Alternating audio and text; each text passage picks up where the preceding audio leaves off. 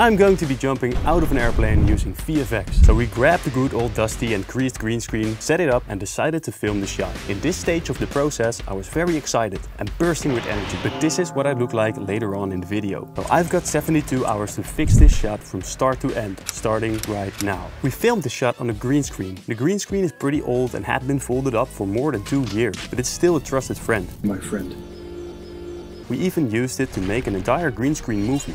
Don't watch it though, it's terrible. But it was a great learning experience. This is what the shot looks like. My friend here noticed that our hands moved beyond the screen. And me, being a seasoned and professional VFX artist said, we'll fix that in post.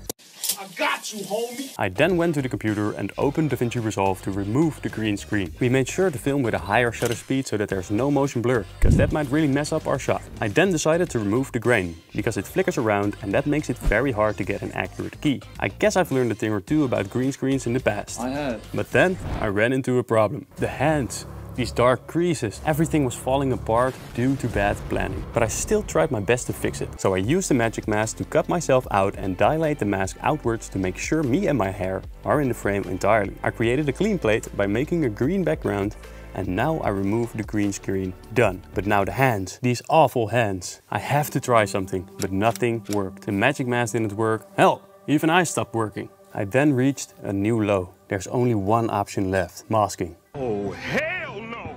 If there's one thing in VFX I absolutely dislike, it's masking. But at this point, I didn't have any other choice because there's only 46 hours left on the clock. So I started masking every little bit and after an hour, I really felt like giving up. My hand was aching and I already knew that this was gonna take an infinite amount of time. I looked up at the ceiling of my office and suddenly felt miserable and defeated. I then looked back at my screen and saw this laughing face staring at me and then I realized something. I never give up. Whether it's about going to the gym and giving it my all, finishing books and university, making movies that are way above my skill level, even making videos for channels that don't get a lot of views or interaction. I never give up. I simply do what I do best, work even harder. So I started grinding. Give me a Sigma grind set edit right here.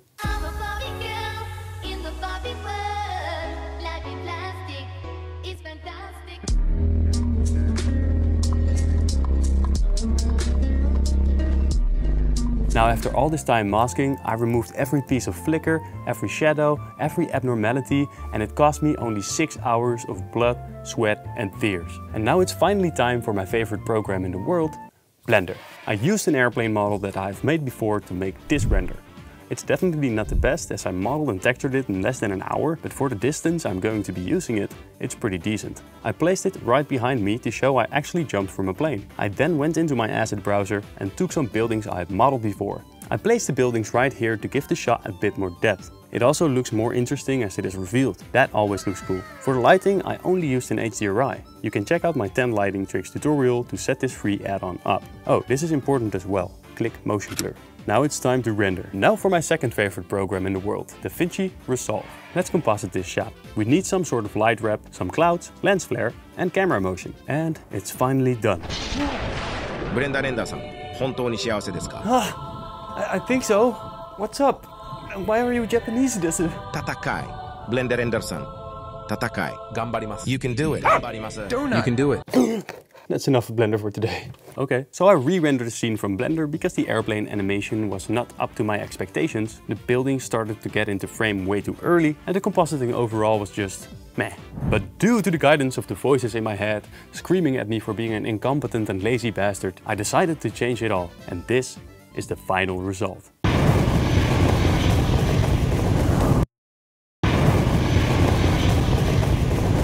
Let me know what you think and what I can improve on. And if you want to know how I made these VFX, I highly recommend watching this video next.